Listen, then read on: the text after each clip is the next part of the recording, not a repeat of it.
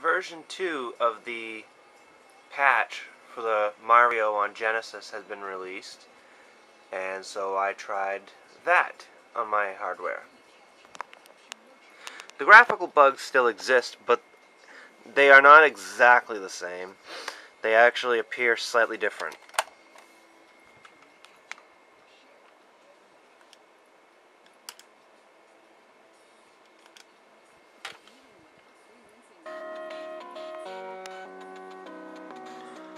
I'm gonna try to play this with one hand.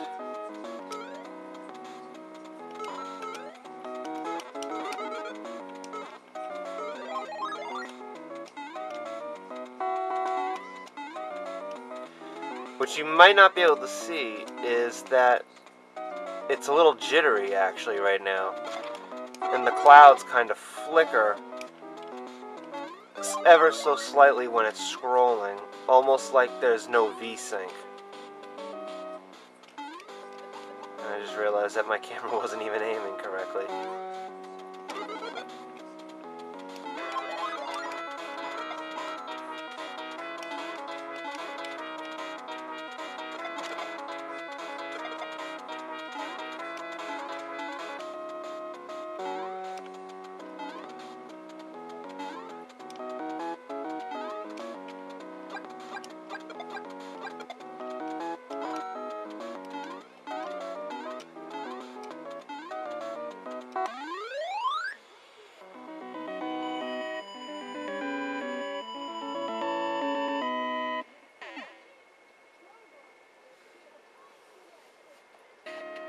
And I'm going to press reset.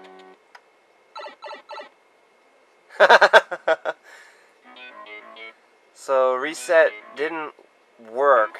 It is still actually playing.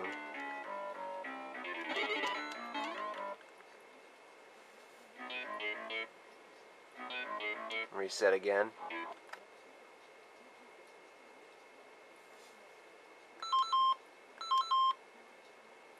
Well, it responds to the start button.